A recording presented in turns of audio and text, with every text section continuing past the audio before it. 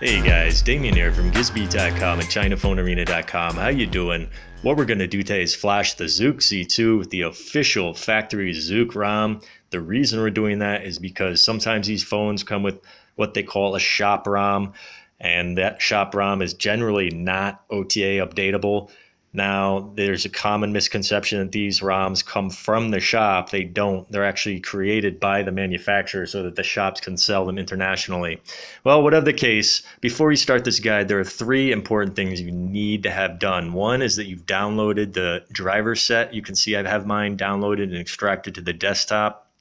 The second thing is that you need the factory ROM downloaded and extracted to a place where you know where it is. And the last thing is that you need USB debugging enabled on the phone. Look down in the description and you guys will see a link to the full written guide, which includes links to everything you need there. It includes links to the factory ROM, the drivers that you need, and also instructions on how to set your Zuk Z2 to debugging mode. Once you have all those things done and ready to go, you can continue with the tutorial here. So now I'm going to assume you guys have those and are ready to go. We're going to go ahead and the first thing we're going to click on here is the MI Flash. This is the first thing we're going to install. This is going to install MI Flash. And it will also install the drivers that we need to install or to flash the ROM. So I'm, I just put three here because I already have it installed. So I'm just installing to a different directory and then it's going to go through just a couple of different things here. It's going to install a Qualcomm driver. Uh, you can see right now it's installing the WinUSB. Now, my opinion, while it's doing this, uh, I'm going to let you guys know. Uh, I'm also going to install the official Zuk driver. However, my opinion is that probably you don't need it, but I'm gonna we're going to install it anyways. Go ahead if you see this pop up, install this driver anyways and go ahead, you're going to see this pop up again. It's going to install another driver there. Go ahead and install that. This is the Qualcomm driver. And then once you're done, just click this again, saying OK.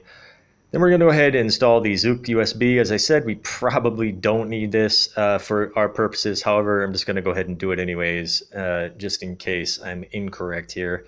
Go ahead and click Next, Next, and then Next. And bam, that installs rather quickly there.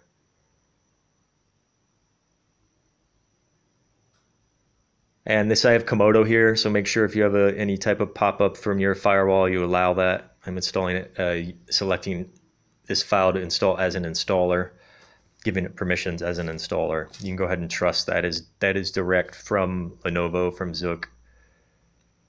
go ahead and click finish there, and then, then the last thing we're to do is ADB setup. This is what allows us to boot into a mode that will allow the phone to be flashed.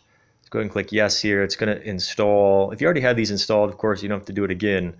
But uh, if you don't, go ahead and install those. Yes, you want to put yes to, there's three questions here, just yes to all of them. It's installing the ADB command set uh, system-wide, so you can issue ADB commands from any uh, any folder. Go and click yes. This, this actually installed the Google driver again, so this might be the third time we've installed the uh, Google Inc. driver. That's okay, don't worry about it should be fine. Go ahead and close that again. Now the next thing we're going to do when we install that, the last install there, it installed ADB to our C slash ADB drive. And so what I'm going to do, I'm going to go to that now. Your phone should be unplugged, by the way. I should have mentioned that in the beginning. Your phone should be unplugged.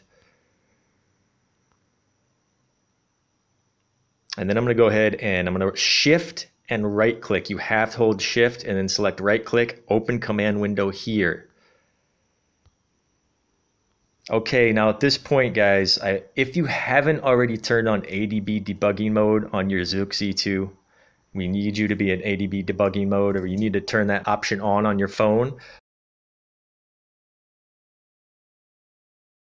Okay, at this point, you're going to go ahead and plug your phone in and make sure you pay very close attention to your phone.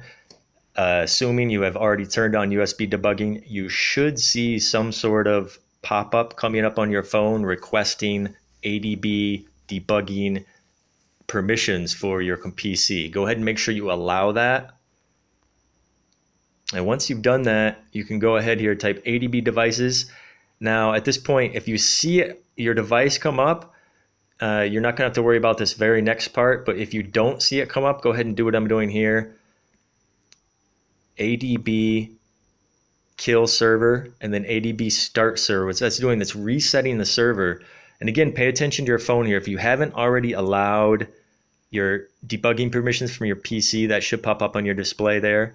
Now go ahead and type ADB devices. Again, you should see your phone come up there. See how it says devices before it was blank and now we have it up and it's authorized. Go ahead and type ADB reboot EDL. That's emergency download mode.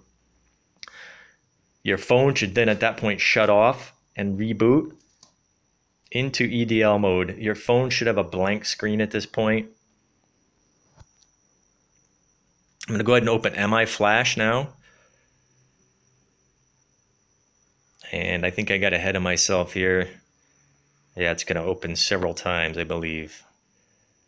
Patience, patience. That that is a virtue. Okay, we're gonna go ahead and close these two. I opened uh, opened it too many times. Close this. We're gonna allow that. Yes, if it has permissions, and then bam, you see this come up. This is actually the flashing screen, the MI Flash. I know it's funny we're using a Xiaomi flasher for our Zuk. However, uh, this one is really easy to use. It's easy to use in the official Qualcomm one, so we're just going to go ahead and do that. Now we're going to direct it to the downloads, and you can see here I'm not exactly sure where I downloaded it to, but we're going to find it here. Go down and I believe I did it in the D drive and into downloads. There it is. Go ahead and select that folder and hit OK. And then go ahead and hit refresh at the top here. And assuming your phone has been correctly detected, you should see it, bam, just show up right there. See, this mean that just showed up. That means it's detecting a device. And now what I do, I select, I, I select flash all except storage. You can probably do any of these. However, I usually do uh, flash all except storage. You can also try and save your bad data by doing flash all except data and storage, and then go ahead and hit flash there and it should hello packet and start to go. And we're going to fast forward through this. You can see it's it's flashing. It's a rather long process. I believe it takes about four minutes total uh, for me. I'm going to go ahead and fast forward through this.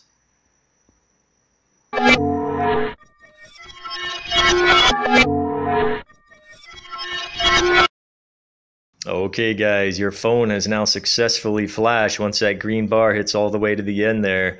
Go ahead and unplug the phone from the PC and go ahead and hold that power button on your Zuk Z2. I have noticed that it takes a bit longer to actually start up that first time after a flash, normally about 10 seconds of holding the power button. However, assuming all went well, it should be booting fine.